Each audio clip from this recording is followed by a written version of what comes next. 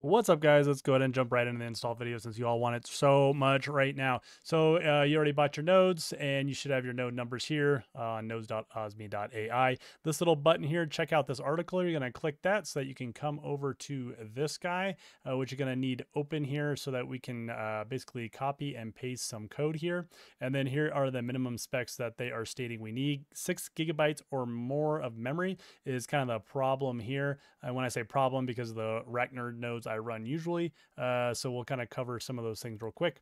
So I usually have these like uh, year long RackNerd ones, but this is only 4.5 gigs. I do have my two running on there and they are working at the moment. Uh, but my assumption is, you know, once things are rolling live, you're going to need the other one. So if you go over to Contabo, link down below, go click it. It's how you're going to quote unquote pay me or help give me some love for doing this video. Uh, you're going to go ahead and choose the six gigabyte RAM one. Let me back up here so you can see the first one. So um, when you're here, you can just select the very first one. 550 a month or you can click the 12 months which is going to drop it to 60 bucks uh, for the whole year. Uh, basically gives you a discount which is actually a pretty decent deal. Uh, not to mention you can run gala nodes and other stuff on this as well at the same time. So uh, choose whatever region you want. Uh, storage type just leave it as 400 gigabytes that's fine you don't need the nvme and then this is the big part make sure this is ubuntu 22.04 it must be that otherwise it's not going to work and then uh, go ahead and type in whatever password you want here uh, that you're going to remember how to log in, I guess. And then uh, object storage, you don't have to worry about that. Don't have to worry about any of the rest of this. And you can go ahead and click next. Why? Please enter a valid password. Okay, then uh, let's uh, do some silly password. How about that? okay, that was probably too easy. Let's let's add some numbers on there. I'm Going to go ahead and click next. Uh, so you can do individual or business. I don't know why that matters. But anyways, put in all your stuff here and uh, click next. Go ahead and do the purchase here. All right, so uh, I got my Contabo ordered for a whole year uh, so I can show you guys how this all works.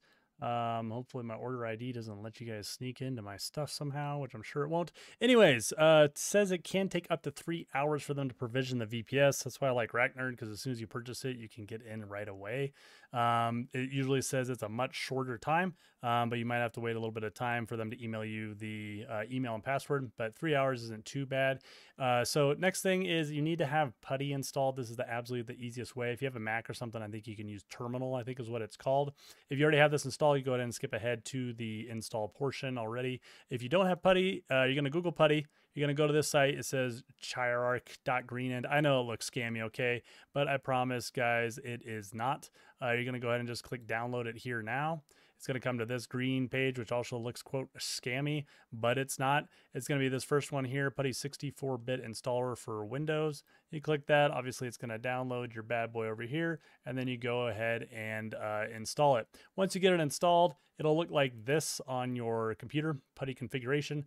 Once you pop this up, you're simply going to pop your IP address in here. So copy and paste, which we'll go ahead and basically start the install feature from here. All right, we got everything. That took about 15 minutes for that to come through on the email. So really not that long. You're to click, uh, put in the IP address here, click open, click accept. It's going to go like this. It's going to be root, enter for this. So whatever password you put, go ahead and type it in.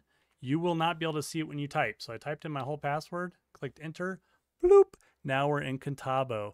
All right, so now go to over to your install and run. It's going to be this easy, guys. Dead serious. Just copy. See this? Copy. And then you're going to go over here and you're going to right click, right click. That's it. It pastes it right in if you right click it. And you're just going to click enter. And that's how simple this aspect is going to be. And then, of course, I'm going to switch one of my, or relink one of my nodes here uh, so you guys can see the full process. And then you can go ahead and you can actually copy both of these lines right here. All right. Right click, paste. It's going to do whatever it's going to do. You don't have to watch it if you don't want to. You just go to this next thing, copy it, go back to PuTTY, wait for it all to finish here. While we're doing that, I'm going to go over here and click relink on this, this one. Click confirm. And then it's going to pop up our code here, which we'll need in a minute. So I'm going to paste in that one we just copied. Boom. Now it says, please put the activation code. You're going to click copy. You're going to go back to this. Then you're just going to right click again. and enter. You're done. How simple was that, guys? Uh, seriously, that's how simple it is. Then you can close it. You want to close the session? Yes. And then this will end up with a green check mark that says linked. Give it a few minutes. And literally, guys, that's as easy as it is. Uh, if you have some other VPSs that already set up, uh, you can try uh, cutting and pasting, you know, that code in there as well and see if you can um, basically just add this node onto some of your other platforms. That's what I did. And it all came through super simple. As always, stay warm, Wookiees.